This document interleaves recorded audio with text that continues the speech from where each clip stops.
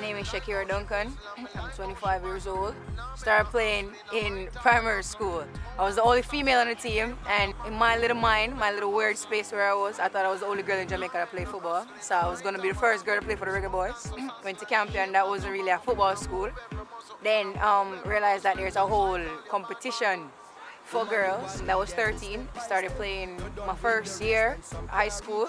Got leading goal scorer and everything. Nobody now pay Campion no mind because Campion one little up at the type of school. So you go there, little manga shaki take on the world we're going with a bag of things. The way your wardrobe blends. Real fashion statement, feel light and lens. Your fragrance are nice. Well, well.